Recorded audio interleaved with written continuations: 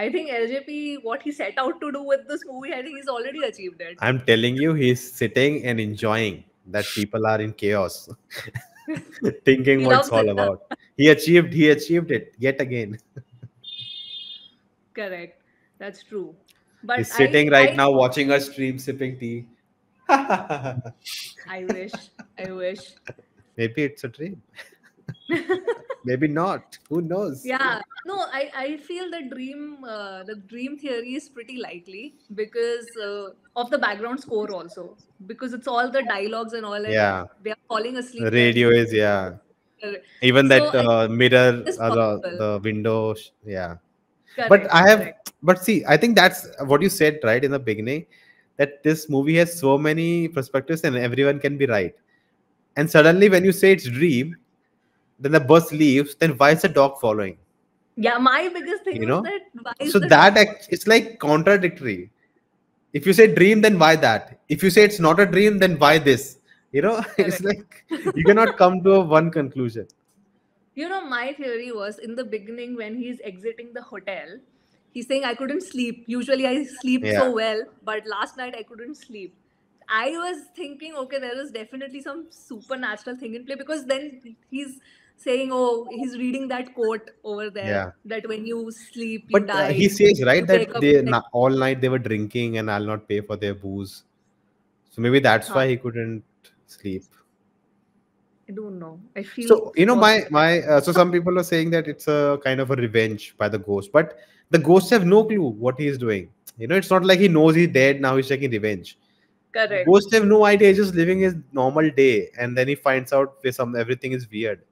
No, it's interesting. But what, what is your most likely theory, like that you believe in this one? So my theory was that he's sitting on the other side, and why, if it's a dream, why the bus is stopped there? And people are saying no, it stopped because the next scene is that in front of the bus, and he's putting up the gear and he's starting the bus. Hmm. So then why did it stop there? You know, so it's it's hard to say it's just a dream. Like you have to frame by frame. yeah, decode okay this dialogue came here okay this at this point this dialogue came but it's it's so interesting i think the fact that we are discussing different different theories about the Yeah. film I was gonna say there was one more theory yeah, that uh, when he's telling a story to everyone, right? He talks about how he met a Malayali guy and he, you know, uh, Yeah. so people are comparing maybe Sundaram met James and that's what he's talking about and all of that. I theorized that is the last shot.